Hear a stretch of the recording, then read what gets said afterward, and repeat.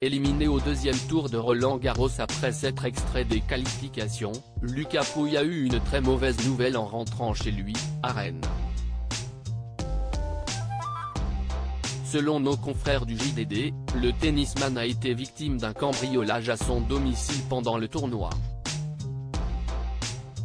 Plusieurs bijoux et montres de luxe auraient été dérobés.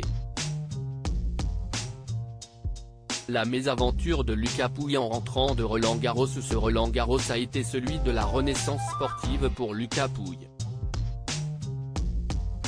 En effet, après avoir songé à arrêter sa carrière, le tennisman a fait rêver les Français le temps de quelques jours.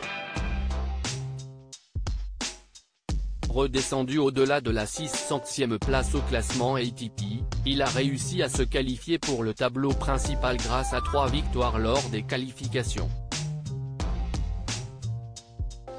Vivement soutenu par le public, il a même passé le premier tour du tournoi, avant de s'incliner face à Cameron Norrie. Malheureusement, toute bonne chose a une fin. Et on peut dire que son retour à Rennes a été très brutal.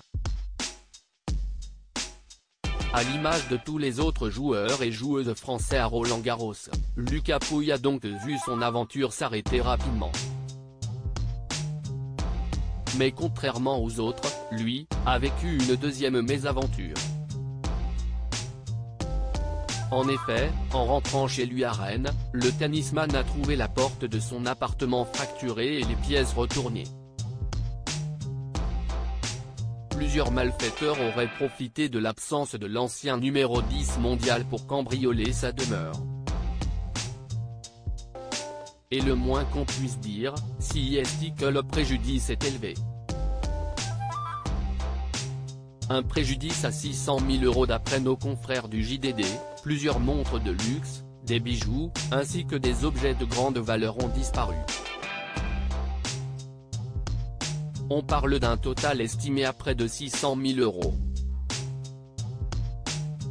Pour l'heure, les cambrioleurs n'ont pas été arrêtés, mais une enquête est en cours. En effet, alerté par l'affaire, le parquet de Rennes a rapidement saisi les enquêteurs de la sûreté départementale d'Ille-et-Vilaine.